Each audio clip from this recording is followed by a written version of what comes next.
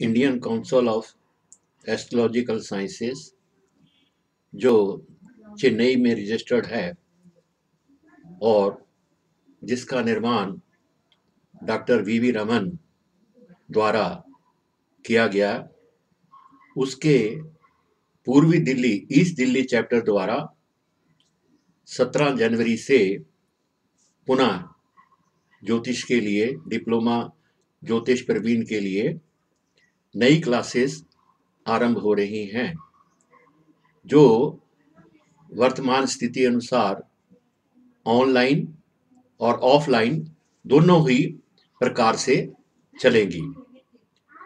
और जो offline classes हैं, जैसी स्थिति के अनुसार मयो इंटरनेशनल स्कूल, जो कि पड़पड़गंज आईपी एक्सटेंशन में है, नियर सीबीआई ऑफ़िस के पास है, वहाँ पर चलती थी और अभी कोरोना के कारण कक्षाएँ बंद होने के कारण वो नहीं चल रही। परंतु हमारी जो कक्षाएँ हैं, ऑनलाइन पर प्रातः रविवार और शनिवार को साय तीन से छह बजे के बीच में बड़ी रेगुलर चल रही हैं।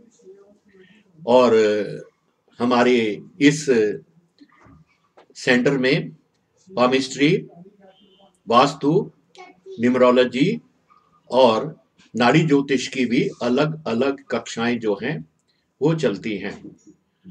वर्तमान में हमारा जो अभी जो परीक्षा भी देगा, वो हमारा जो प्रवीण वन का प्रवीण वन का जो एक हमारा ग्रुप था, वो अभी एग्जामिनेशन के लिए तैयारी कर रखी है। देखिए, भारतीय ज्योतिष अनुसंधान, जो कि हमारे प्राचीन ग्रंथों भरत पराशर होरा शास्त्र, या हमारे जितने वेद हैं, वेद शास्त्रों के अनुसार अपनी ज्योतिष शिक्षा का पठन पाठन या उनकी शिक्षा देता है। इसी इसी संदर्भ को ध्यान रखते हुए हमारा जो ज्योतिष प्रवीण का पाठ्यक्रम है, बड़ा ही एक क्लासिकल सा बनाया गया है। इसमें शुरू शुरू में इस प्रकार के शास्त्रों का भी अध्ययन कराया जाता है, जो कि हमारे जीवन में ज्योतिष की एक ज्योत जले और जिसके अनुसार हमारे एक पाठ्यक्रम में उन उन विधाओं को हम पढ़ाते हैं, जैसे theory of astrology theory of astrology में एस्ट्रोलॉजी का उद्गम कैसे हुआ और उसी उद्गम में ज्योतिष की कितनी कितनी प्रकार की विधाएँ बनी और इसका एक क्रोनोलॉजिकल साहित्य कैसे आरंभ हुआ? हमारे अठारह जो ऋषि थे, उनकी एस्ट्रोलॉजी में के कंट्रीब्यूशन रही और क्लासिकल विधि के अनुसार हम लोग भरत प्राशर होरा शास्त्र को अध्ययन कराने का प्रयास करते हैं और उसी भरत प्राशर होरा शास्त्र को हम एक मॉडर्न कंटेक्स्ट में लेकर उसका अध्ययन कराने का प्रयास करते हैं। फिर value and use of astrology ऐसे नहीं कि केवल एस्ट्रोलॉजी को क्राइम करा दिया जाता है, रटा दिया जाता है। बारह राशियों के नाम बता दिए, उनके स्वामी बता दिए, और हमारा कोर्स पूरा हो गया। ऐसा नहीं। इसमें value and use of astrology after all ये जो ज्योतिष है, इसका हमारे डेली जीवन के साथ क्या संदर्भ रहता है, और इसकी हमारे जीवन में क्या वैल्यू है? इन सब का हम अध्ययन, ताकि जो भी शिक्षा प्राप्त करने आता है, उसके अंदर एक ज्योतिष की एक ज्योति जले और उसके लिए वो पढ़ने के लिए तैयार हो। इसके अलावा एस्ट्रोलॉजी एंड मॉडर्न साइंसेस बहुत इंपॉर्टेंट है। एस्ट्रोलॉजी एंड मॉडर्न साइंसेस जब हम एस्ट्रोलॉजी को मॉडर्न साइंसेस के साथ रिलेट करते हैं तो इसका जो स्फीयर है, बहुत बढ़ जाता है, बहुत बढ़ जाता है।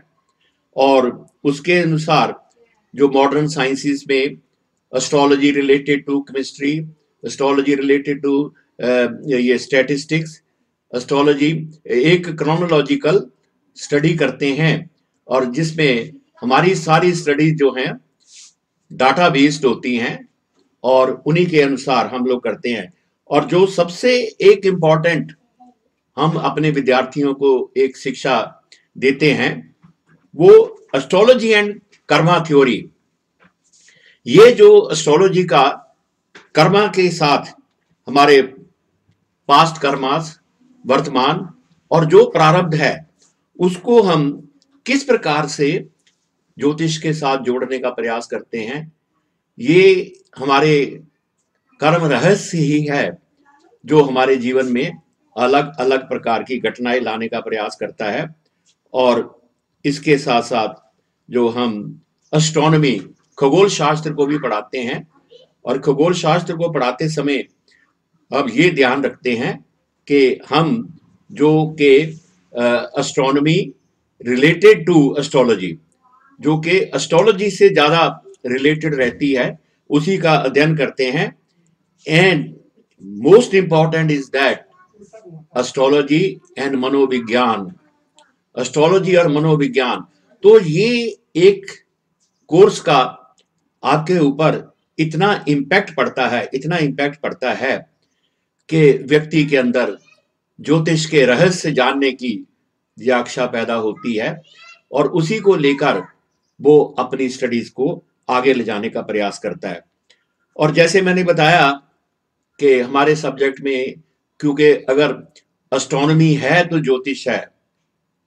अगर एस्ट्रोनॉमी का ज्ञान हमें ज्योतिष से संबंधित मिलता है तो हमारे ज्ञान में, ग्रहों के बारे में, और ये जो प्लानिटरी सिस्टम है, ये इसका हमारे ऊपर क्या प्रभाव पड़ता है? अर्थ क्या है? स्काई क्या है? राहु केतु क्या है? ये ग्रह क्या है? उपग्रह क्या है? नक्षत्र क्या है? इक्वेटर क्या है? लॉन्गिट्यूड्स क्या है अक्षांश क्या है, और अयनांश क्या है, और जोड़े कॉन्सिलेशन और इन सब का हम अध्ययन करने का प्रयास करते हैं। और इसी हम फ़र्स्ट सेमेस्टर में जो सबसे बड़ा जो ज्योतिष का ज्ञान अपने विद्यार्थियों को देते हैं दैट इज़ अबाउट पंचांग। पंचांग क्या है?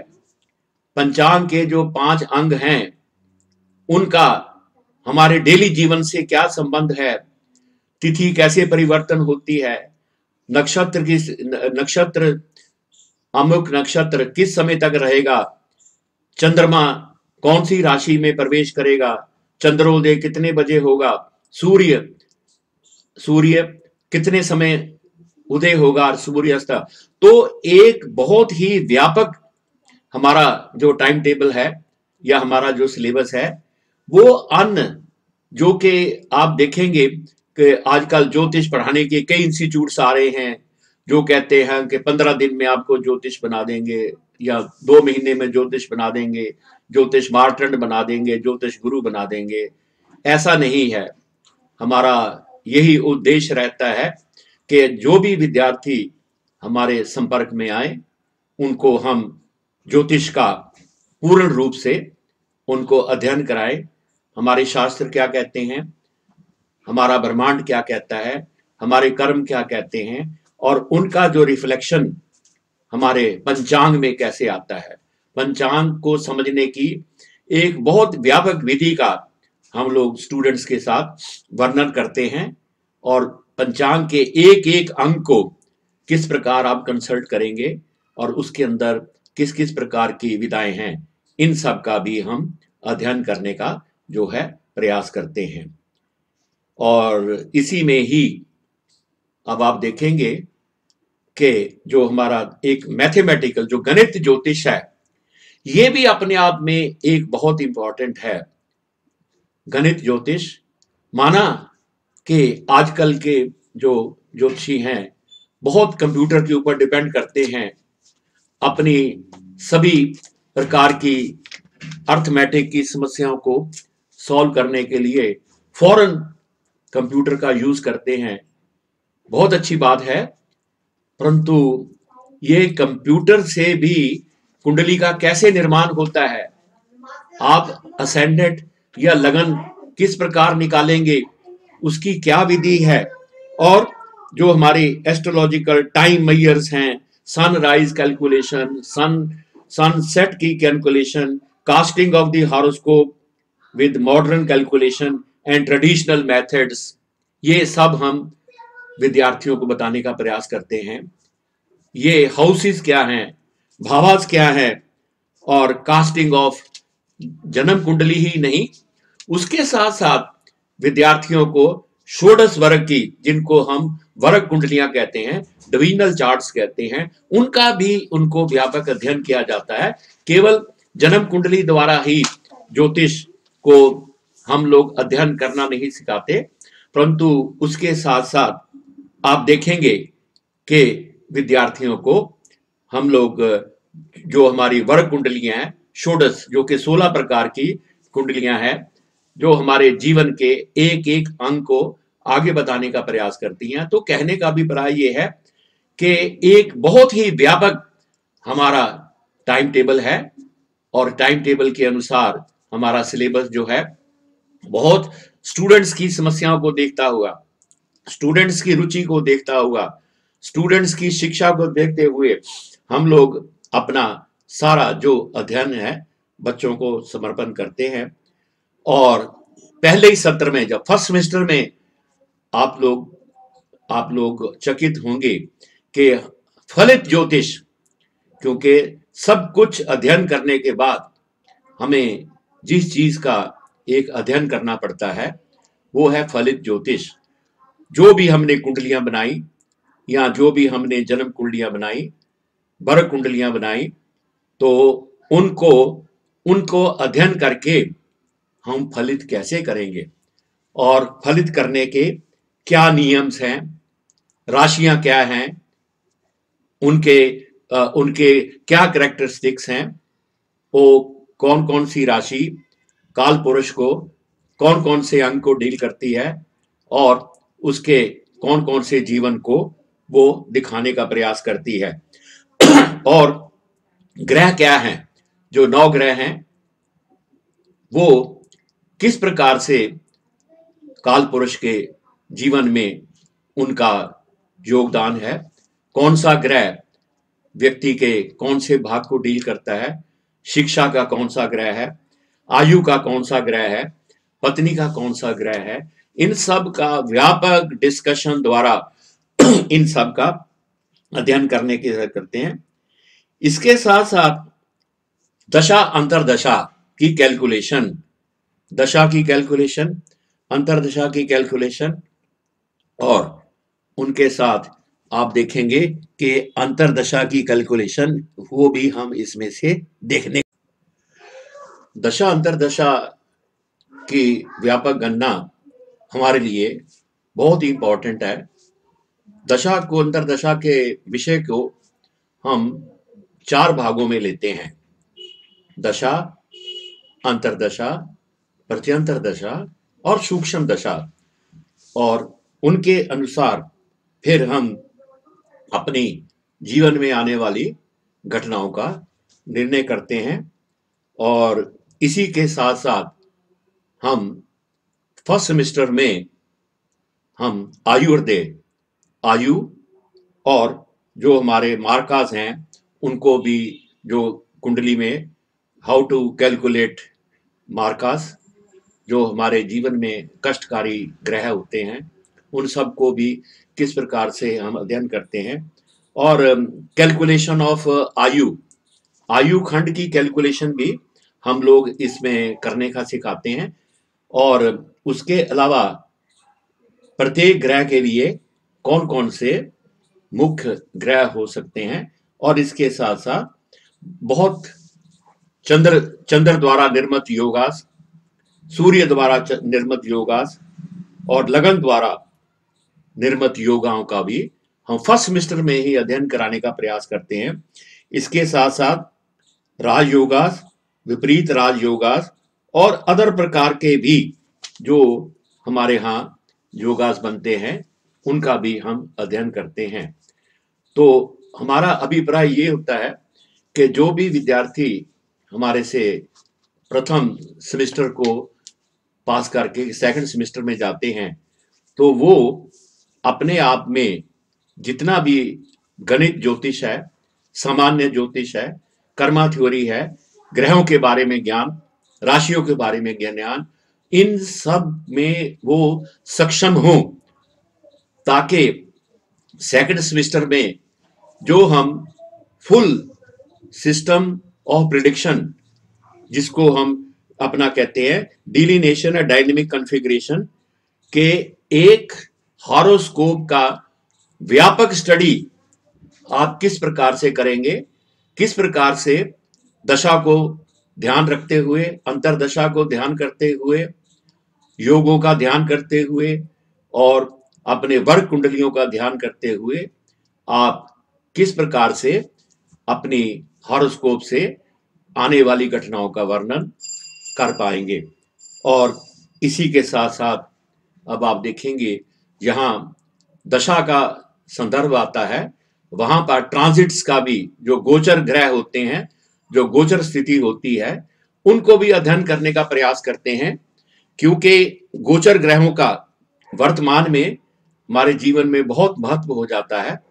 तो इस प्रकार से ग्रह दशा और ये सब मिलकर, और इतना ही नहीं, आप हैरान होंगे, आश्चर्य होंगे कि हमारे सेकंड सेमेस्टर में ही, जो छह महीने का होता है, उसमें हम ताजिक ज्योतिष भी पढ़ाते हैं, जिसको वर्षफल ज्योतिष कहते हैं। ये अपने आप में एक पूर्ण विधा है।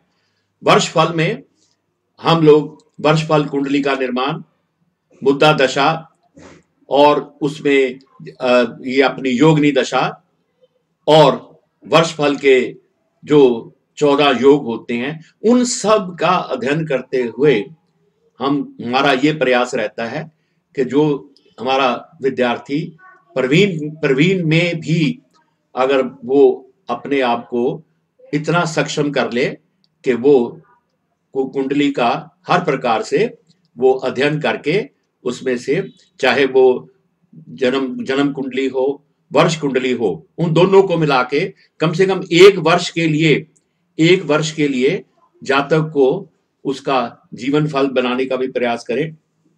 और इतना ही नहीं, हमारे सेकंड सेमेस्टर में जातक को मुहूर्त मुहूर्त जो कि अपने आप में एक पूर्ण एक पूर्ण ज्ञान है, विज्ञान है, मुहूर्त की स्टडीज़ कराना, मुहूर्त के पहले नियम नियम में नक्षत्र का क्या रोल है, नक्षत्र की क्या इंपॉर्टेंस है नक्षत्र की क्या क्या संज्ञाएँ हैं और इसके साथ साथ ग्रह प्रवेश के मुहूर्त, जो हमारे षोडश मुहूर्त हैं, जन्म से लेकर मृत्यु तक के मुहूर्त, शिक्षा के मुहूर्त, यात्रा के मुहूर्त और इसके साथ साथ जो विवाह के दस दोषों का ध्यान करना, वो भी करना और टोटल में जो हमारे 21 दोष है, उनको, उनका अध्ययन करते हुए या उनका ध्यान करते हुए जो भी हम मुहूर्त निकालते हैं तो उसका हम पूर्ण रूप से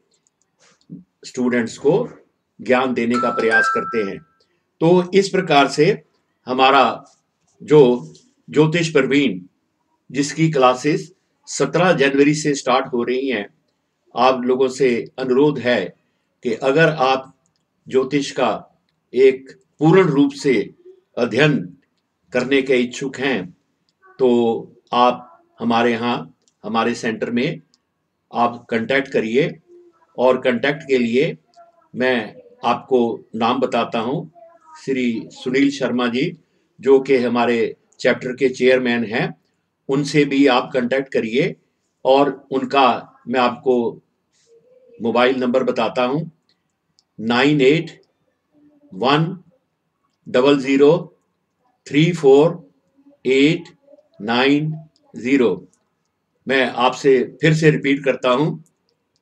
Nine eight one double zero three four eight nine zero और हमारे चैप्टर के secretary G N Brahmi ji भी हैं।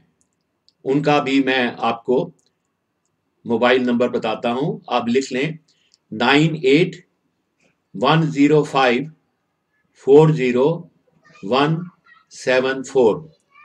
Brahmi ji का नंबर, जो हमारे चैप्टर के सेक्रेटरी हैं, मैं फिर से रिपीट करता हूँ। Nine eight one zero five four zero one seven four. तो जो भी हमारे ईस्ट दिल्ली में या भारत के किसी कोने में भी अगर पूर्ण ज्योतिष सीखने के अगर आप इच्छुक हैं तो आप हमारे यहाँ रजिस्टर कराएँ। जहाँ ऑनलाइन और ऑफलाइन क्लासेस अभी भी चल रही हैं और आगे भी चलती रहेंगी ताकि भारतीय ज्योतिष विज्ञान परिषद द्वारा ईस्ट दिल्ली चैप्टर द्वारा जो भी एक व्यापक हम ज्योतिष का ज्ञान देने का प्रसार करते हैं उनका भी आप लाभ उठा सकते हैं। मैं फिर से सभी ज्योतिष प्रेमियों से निवेदन करता हूँ कि सत्रह तारीख से पहले पहले आप हमारे यहाँ रजिस्टर कराएँ और फ़ीस आदि, बहुत सामान्य फ़ीस है। हम लोग पचपन सौ रुपया प्रति सत्र लेते हैं और क्लासेस हमारी ऑनलाइन और ऑफलाइन है। नॉर्मली इन क्लासेस का जो बहुत सुविधाजनक समय हमने रखा हुआ है, शनिवार और रविवार को तीन से छ जिसमें हम अध्ययन में हर प्रकार की एग्जाम्पल्स देकर, हर प्रकार के संदर्भ देखकर तो शिक्षा देने का प्रयास करते हैं। तो मेरी सभी ज्योतिष प्रेमियों से फिर आपसे एक अनुरोध है कि अगर आप ज्योतिष के रहस्य जानना चाहते हैं, जो हमारा ज्योतिष है, इसको मॉडर्न कंटेक्स्ट में पढ़ना चाहते हैं तो आप हमारे यहाँ अपने आप अपने आप को रजिस्टर कराइए और सत्र जो है हमारा सत्रह जनवरी 2021 से आरंभ होने जा रहा है। और आप सबका बहुत बहुत धन्यवाद। शीघ्र ही हम थोड़ी देर में जो हमारे और सिलेबस हैं या और कक्षाएँ हैं उनके बारे में भी अध्ययन करेंगे। इतना ही नहीं कि ज्योतिष प्रवीण के बाद हम आपको ज्योतिष के अध्ययन से वंचित कर देते हैं। उसके बाद हमारी जो हैं एडवांस ज्योतिष की क्लासेस लगती हैं, जिनको हम ज्योतिष विशारद कहते हैं। उनके बारे में थोड़ी देर में आपको परिचय दिया जाएगा। धन्यवाद बहुत बहुत धन्यवाद।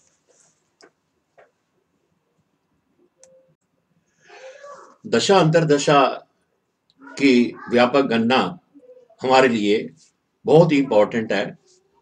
दशा को अंतरदशा के विषय को हम चार भागों में लेते हैं। दशा अंतरदशा प्रत्यंतर दशा और सूक्ष्म दशा। और उनके अनुसार फिर हम अपनी जीवन में आने वाली घटनाओं का निर्णय करते हैं और इसी के साथ साथ हम फ़र्स्ट सेमेस्टर में हम आयुर्दय आयु और जो हमारे मार्कास हैं, उनको भी जो कुंडली में हाउ टू कैलकुलेट मार्कास जो हमारे जीवन में कष्टकारी ग्रह होते हैं, उन सबको भी किस प्रकार से हम अध्ययन करते हैं।